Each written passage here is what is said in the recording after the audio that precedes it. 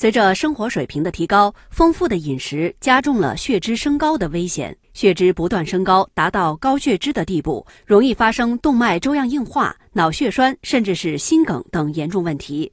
那么，想要让血脂降下来，除了正常的吃药治疗之外，还有什么方法能达到降血脂的目的呢？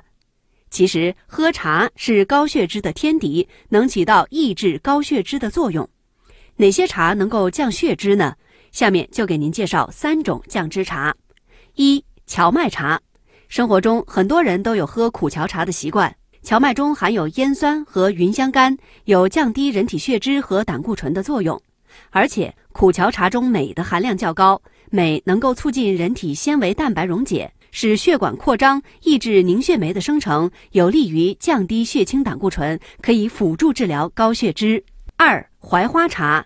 槐花茶虽然不是茶，但是泡水之后可以代茶饮用。槐花味苦微寒，具有清热泻火、凉血止血等作用，而且槐花茶还具有降血压、降血脂的功效，可以预防心脑血管疾病。除了直接泡水，还可以适当的加入一些绿茶，或者是搭配枸杞泡茶饮用，同样有很好的降血压、降血脂的功效。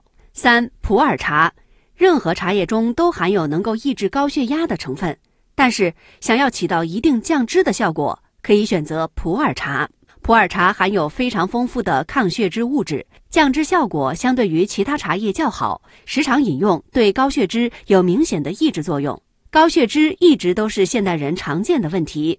喝茶虽然对高血脂有一定的抑制作用，但只能作为治疗的辅助食物。有较重的高血脂患者，还是需要遵循。